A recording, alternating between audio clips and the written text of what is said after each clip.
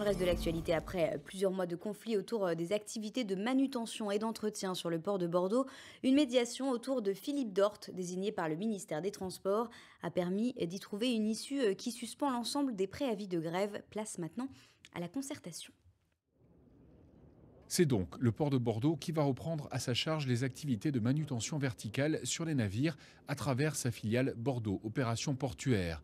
Une opération qui fait suite au redressement de la société Bordeaux Atlantique Terminal qui opérait sur cette activité, mais aussi au départ d'un des principaux opérateurs dans les porte-containers, MSC, après l'échec notamment de la mise en place du terminal à containers du Verdon. S'en est suivi un mouvement social face aux incertitudes sur l'avenir du port qui vient de trouver une porte de sortie.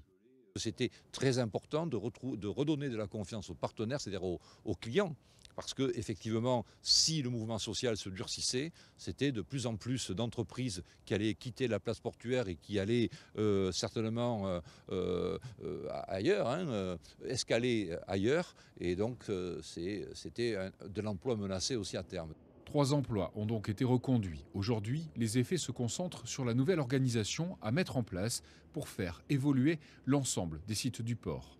Bien entendu, heureusement que ce n'est pas notre conflit des mois et demi qui fait que les résultats du chiffre du port de Bordeaux soient entre guillemets catastrophiques. C'est parce qu'on ne va pas se voler la face, puisque c'est reconnu, puisqu'il y a l'audit qui a été mandaté par le ministère des Finances et le ministère des Transports. C'est une gestion catastrophique du port de Bordeaux.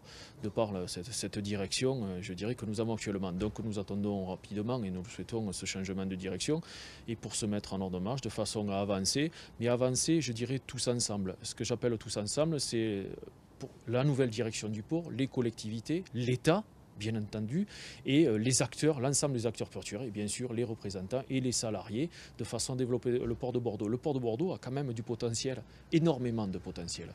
Chaque année, ce sont 8 à 9 millions de tonnes de marchandises qui sont traitées par le port de Bordeaux, soit l'équivalent de 400 000 camions.